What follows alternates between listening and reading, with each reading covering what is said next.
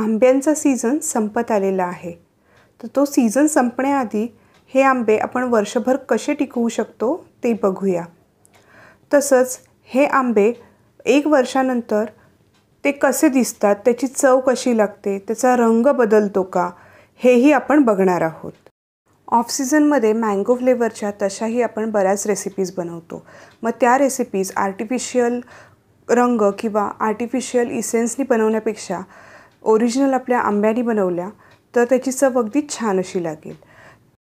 Artificial आंब्याचा essence वापरून केलेले पदार्थ आणि खऱ्या आंब्याचा रस काढून केलेले पदार्थ यामध्ये खूप फरक पडतो. चवीमध्ये तर खूपच फरक पडतो. तर असे तुम्ही आंबे वर्षभर टिकवू शकता. मी हे आंबे वर्षभर टिकवले आणि अगदी व्यवस्थित राहिले तर तीच रेसिपी आज मी तुमच्याबरोबर शेअर करत आहे. तर इथे मी आंब्याचे सालं काढून घेतलेली आहेत वरची.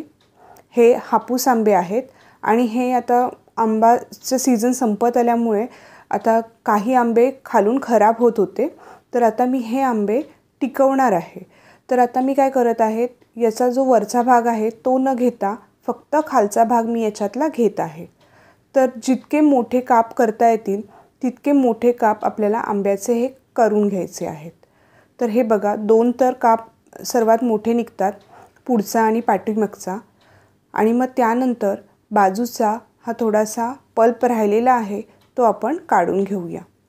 अशा प्रकारे मागच्या वर्षी मी भरपूर आंबे वर्षभर टिकवले होते आणि ते वर्षभरानंतर आत्ता कसे दिसत आहेत तेही मी तुम्हाला दाखवणार आहे.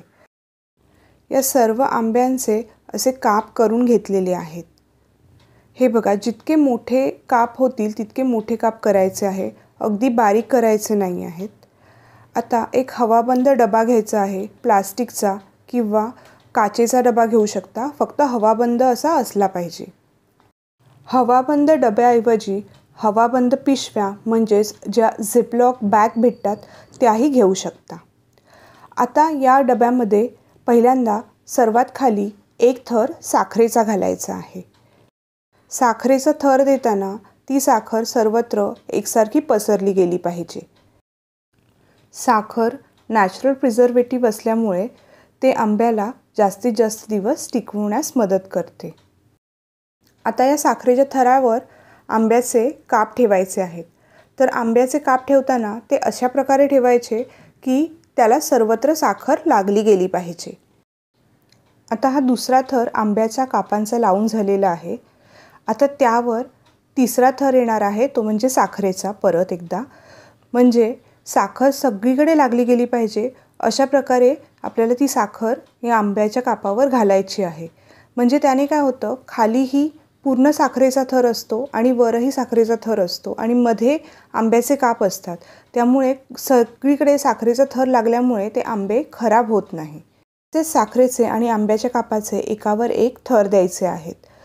तर आपला जो डबा आहे तो शक्यतो पसरट असला पाहिजे तो गोल आणि उभा नसावा. आता याला आपण झाकण लावून फ्रीजमध्ये ठेवून देऊया. हा डबा जिथे आपण बर्फ तयार करतो तिथे म्हणजेच फ्रीझरमध्ये ठेवायचा आहे. आता मी तुम्हाला मागच्या वर्षीचे फ्रोझन आंबे दाखवते. अगदी थोडासा शिल्लक राहिला आहे. बराच केला होता पण वर्षभर वापरत वापरत अगदी थोडासा इथे शिल्लक राहिलेला आहे. तर हे बघा हे जे आंब्याचे काप होते आणि साखर होती ते सगळं एकत्र झालेलं आहे. म्हणजे साखर नंतर त्याच्यामध्ये मेल्ट होते आणि जी कापं असतात ती पण सगळी एकत्र येतात आणि हे बघा हे असं तयार होतं. मग आपल्याला पाहिजे तेवढं पाहिजे तितकं चमच्याने काढून घेऊ शकतो. अगदी आईस्क्रीमचं कसं टेक्स्चर असतं तसंच याचं टेक्स्चर असतं. खूप असं घट्टसर असं नसतं. तर हे बघा मी चमच्याने अगदी अलगत ह्याला काढू शकले. तर अशा पद्धतीचं टेक्स्चर याचं होतं. आणि रंग म्हणाल तर रंग थोडासा बदलतो.